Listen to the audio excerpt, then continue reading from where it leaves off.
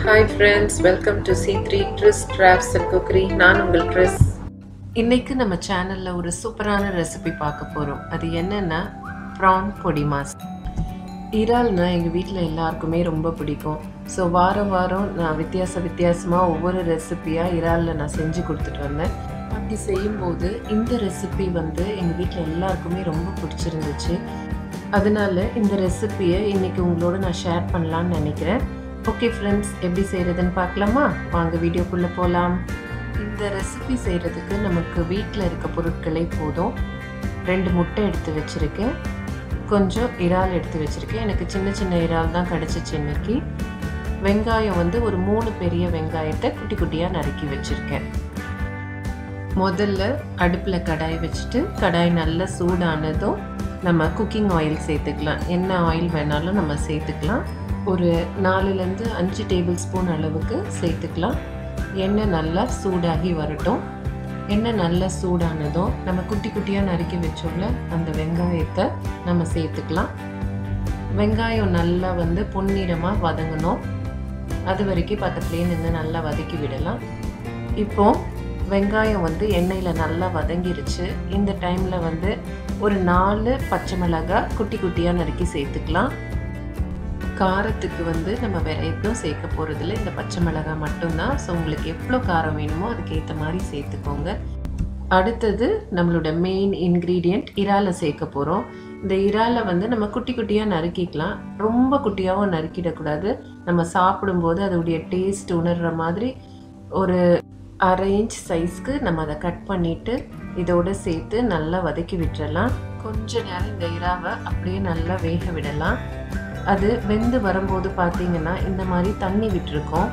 வேறு எந்த மசாலா பொருட்களும் நம்ம சேர்க்காம அப்படியே அந்த தண்ணி வத்துற வரைக்கும் அது அதிலே வேகிற வரைக்கும் நம்ம வெயிட் பண்ணலாம்.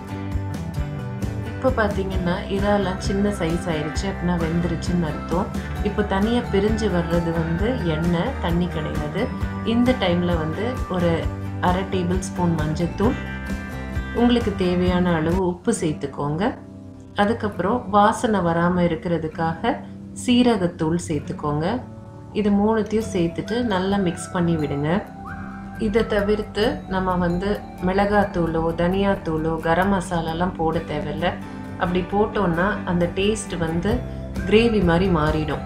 அடுத்தது நான் ரெண்டு முட்டை உடச்சி ஊற்ற போகிறேன் இது வந்து ஆக்சுவலி ஆப்ஷனல் தான். உங்களுக்கு வந்து வெறும் ப்ரான் பொடி மாஸ் மாதிரியும் செஞ்சுக்கலாம். இன்னும் கொஞ்சம் ஃப்ளேவர் வேணும்னா இந்த மாதிரி ஒரு ரெண்டோ மூணு முட்டையோ நீங்கள் உடச்சி ஊற்றிக்கிட்டிங்கன்னா அதுவும் ஒரு டிஃப்ரெண்ட் டேஸ்ட்டாக இருக்கும். முட்டை உடச்சி ஊற்றின உடனே உடனே நம்ம கலரிடக்கூடாது. கொஞ்ச நேரம் வெயிட் பண்ணிவிட்டு அந்த வெள்ளை கரு எல்லாம் அப்படியே மேலே ஃபார்ம் ஆகி வர்ற மாதிரி வந்த ஸ்டேஜில் நம்ம வந்து மிக்ஸ் பண்ணி விடணும்.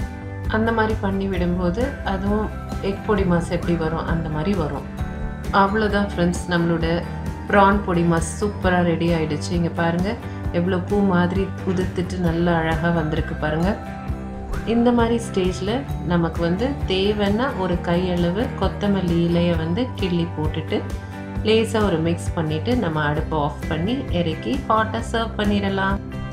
இப்போ நம்மளோட இறால் பொடி மாஸ் ரெடி டெஃபினட்டாக இது வந்து ஒரு மவுத் வாட்டரிங் ரெசிபி இது வரைக்கும் நீங்கள் இந்த ரெசிபியை ட்ரை பண்ணது இல்லைன்னா கண்டிப்பாக நீங்கள் ட்ரை பண்ணி பாருங்கள் உங்கள் எல்லாருக்கும் ரொம்ப பிடிக்கும்.